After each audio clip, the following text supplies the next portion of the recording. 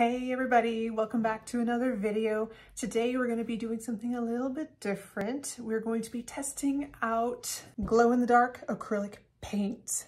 This video did not turn out exactly the way I had intended it to. I was planning on filming it as a tutorial and I was for most of it and then I realized this was taking way too long for just a quick tester tutorial so I'm going to speed it up and I will tell you my thoughts about the glow-in-the-dark paint. So here's our glow-in-the-dark paint by FolkArt.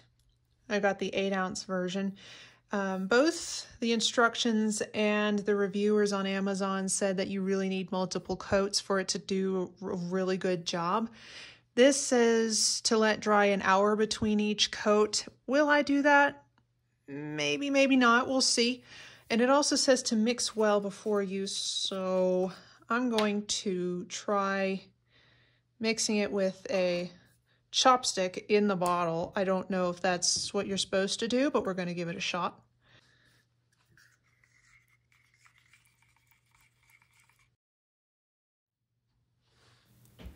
I am now applying the glow-in-the-dark paint to the painting it appears to go on clearly, so finish painting whatever it is you're doing first and then apply the glow-in-the-dark stuff on top of it. As you can see, I'm just painting right over the top of everything on my ghost and it's completely transparent. It did make the um, facial features a little bit foggy, so I touch them up a little later.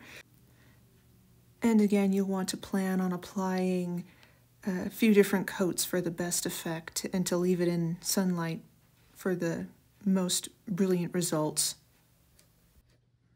So far I have added two coats. I did not wait the requisite hour between coats, so oops, this is what I've got so far. Friendly little ghost painting.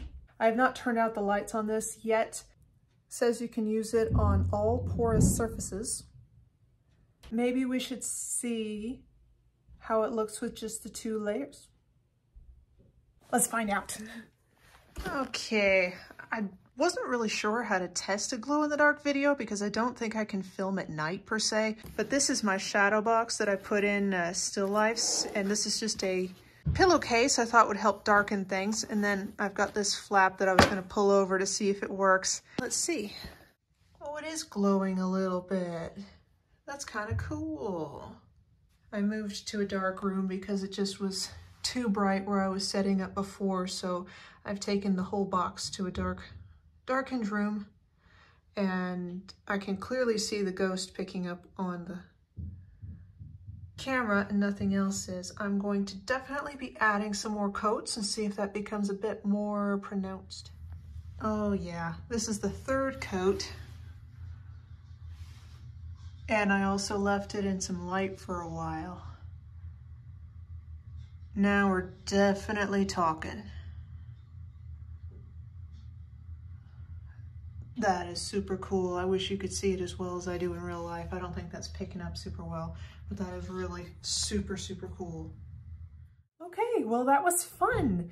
I'm going to probably keep adding some more coats to it and just keep trying it and see how it looks watch my Facebook and Instagram. I'll upload my results there. Anyway, thank you for joining me as I tested out this new product. The link to purchase it will be in the description below if you are interested in trying it out. As always, thank you for joining me and I look forward to seeing you in the next video. Bye!